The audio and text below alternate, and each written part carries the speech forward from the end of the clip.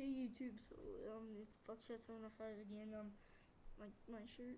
Um, yeah, I got a while ago. Anyhow, got new Webkinz. Um, yeah, it's pretty. It came with this box, but yeah, I don't get the really point of the box. I think it was pretty cool though. It came with the box because I've my first time going to the actual place I bought it, and there's like tons. I got the Love Elephant. Yeah, I thought it was pretty sweet. And I'm gonna be taking off the code. I already opened part of it, so I already actually opened it. So I just tied it back up and so I can show you guys it.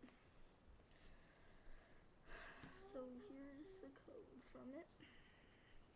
And here's the webkin. So I think of the name of it. Uh, I don't know yet.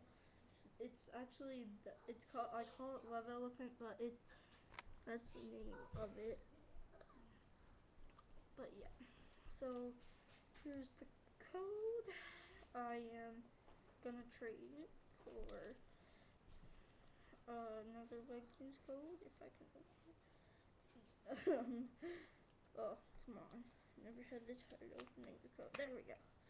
Okay so here's the code. As you know this open. I'm gonna put it back in the package so you guys know. I don't use it